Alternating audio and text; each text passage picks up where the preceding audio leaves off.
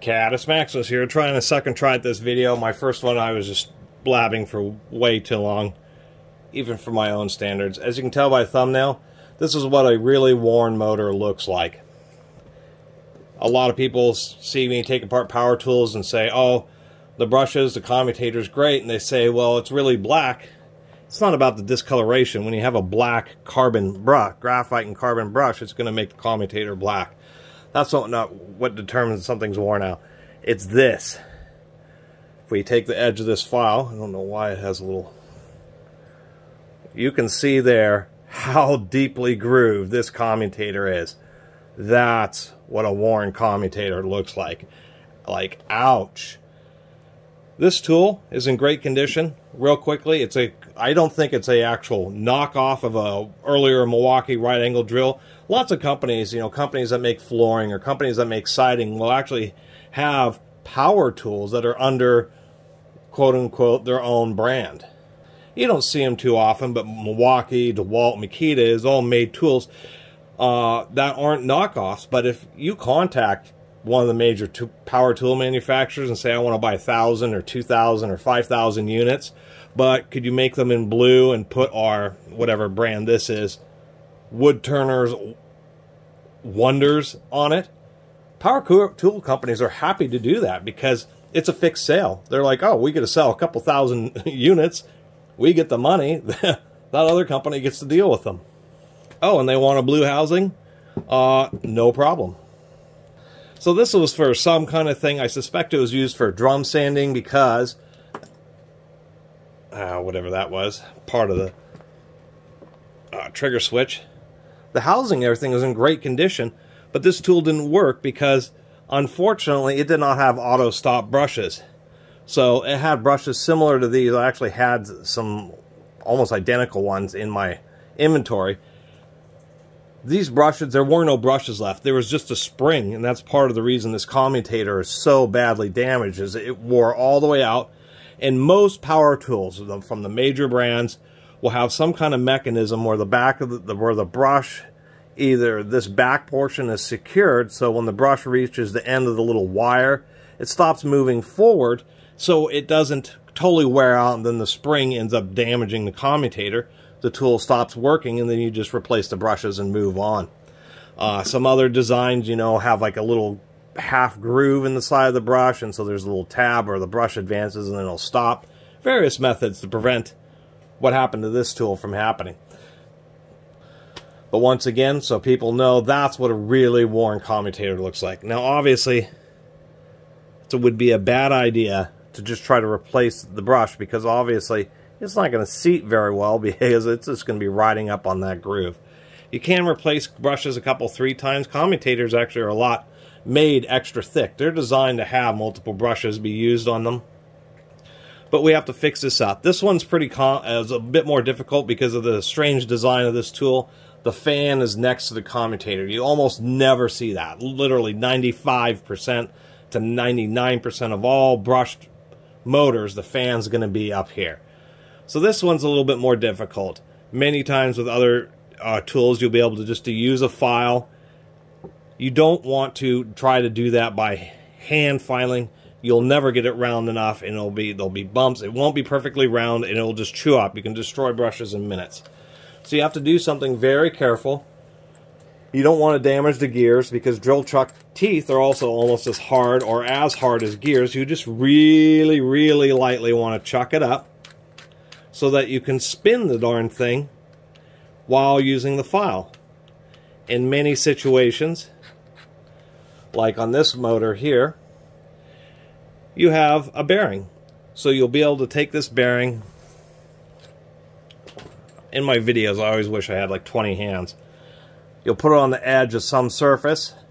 That way it, you'll hold it with the drill here, have the bearing sit on kind of some kind of surface. That way it can spin freely and then you can go across with the file. It's soft copper, so you'll need like a wire brush to clean the periodically clean the file. And you don't need to spin it fast. You can spin it pretty slow. And you'll just go across trying to flatten out the commutator, being careful of the bars where the wires are connected. But you'll want to try to flatten it out the best possible. Other options is, of course, using a piece of sandpaper fold it over around a piece of wood, something that's flat, so you can at least try to flatten out, once again, the commutator. There are things like brush seater and commutator cleaners, but these are extremely soft stones. They won't restore this surface. You'll just grind away the whole stone trying to. Those stones are just for this lightly dressing and roughing up a commutator so the brushes seat a little faster, which will already happen because you're sanding this. So got this chucked up just tight enough to, to hold it because I'm not going to be putting a lot of force on.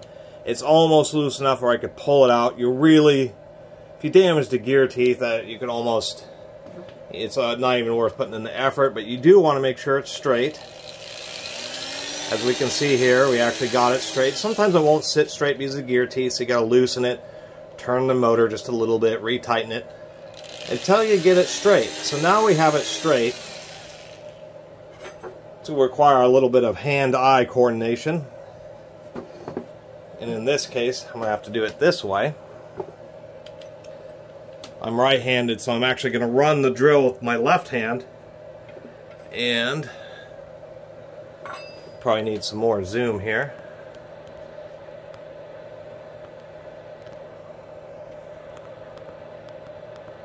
There we go. Make sure I'm... I can't see the camera and what I'm doing at the same time. But basically, I'm going to put it against the edge of something. Since this has a ball bearing, it's not a big deal that it's... And then I'm going to, in my case,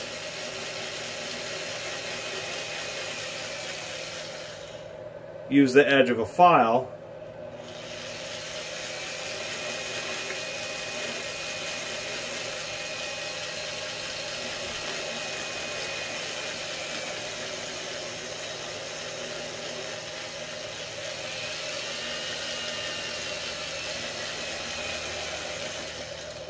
Not too hard so it doesn't run away from you.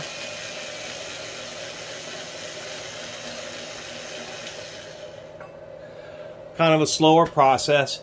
If you have a vise, you can lightly vise this up. It's a little bit awkward because you're holding on to this drill, you know, it's sticking out there. But you can see I'm already starting to make progress on there. Using the edge of the file is not the perfect method. But remember, you're restoring a tool that does not work, so you don't have to stress about it too much. Here I found an area of the wood where there's a notch, so that will allow the bearing to kind of sit in there, so I won't be fighting this quite so much.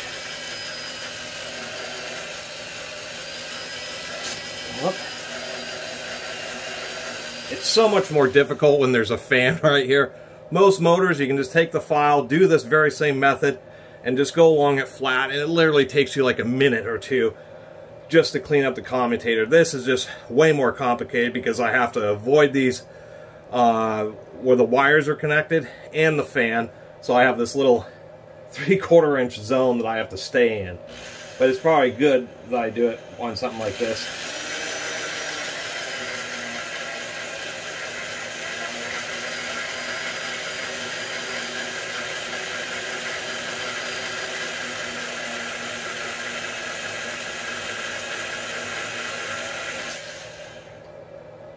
And it will just take a bit of time.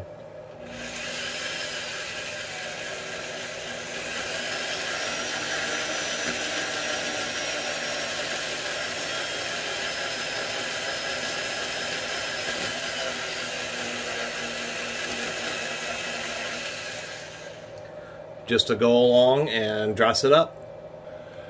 Since I am using the narrow edge of the file, I'm trying to hold it at an angle because as you hold it at an angle, relative to the surface that you're trying to file, it makes it have a wider contact area and it's easier for you to try to maintain parallelism rather than try to go in little slots like this. So I'm trying to do is go angles like this and like this so I can get the whole commutator relatively flat. I'm just using a stainless steel wire brush and periodically I'm just brushing out the file to clean out the flutes and I should also mention that it's a heck. It's also more, much more difficult when you or just by yourself because you got to hold the drill with one hand and try to manage basically fixing the commutator with the other. If you have anybody who can help you, it can dramatically help or it can be much handier because then that person can run the drill and you can just focus on restoring the commutator. This one, with the way this fan here, this is making this a nightmare, a much slower process. Here we go. Far from perfect. This was like one of the biggest hat. This was the worst motor to try to do this on. As you can see, I nicked up against the fan a few times, but not a big deal. Uh, I can tell you that with a fan on that on the end of the motor like that makes this job uh, quite a bit more difficult. That's for sure. Way more difficult, especially if you don't have a triangular file one that's just the right size to fit in there. A lot of people may not, so little pieces of sandpaper, edge of the file just going this way and this way, and I got this close enough. I mean, the motor is already really worn, and you can see after a few minutes, it's not perfect, not by uh, a long shot, but it's going to be close enough. One thing you'll want to do is, because you'll get end up with just a bunch of burrs and stuff in between these contact bars, is you're going to want to take a pick and not going to, going away from the wires, you're going to want to take a pick and just scrape out in between the slots to knock out any of those burrs that are going to be in there. The surface is already going to be roughed up, so it'll break in the brushes pretty quickly. I mean, on most motors, it's going to be like this. It's uh, this was a defective motor that actually came, if I can find it, there are these sleeves that are inserts that help push the wires down, keep them from flying out, and this motor is actually missing one. Anyway, so much easier because you can do what I just said, but you don't have that dang, that fan. It's amazing how much more difficult that made it. You can just take the file, go along flat, and it just, it's usually a super easy process. It is copper, it is soft, but not quite as soft as you think. It is a copper alloy because the idea is that the brushes are supposed to wear out and you're supposed to get you know as little wear as possible on the commutator while having high conductivity. And a lot of the wear isn't just a physical the mechanical scrape uh, scraping or quote unquote abrasion of the brush against the commutator. It's the fact that it's electrical. So there's all these little sparks uh, happening. And those little sparks uh, are causing electrical erosion of the commutator. And that's where a, probably half the wear comes from isn't just the mechanical sliding action of the brush, it's the little sparks causing electrical discharge erosion. And got it all back together now. Didn't do a, a perfect job on the commutator. Once again, it was just difficult with the fan at the back. Most motors will be a lot easier otherwise.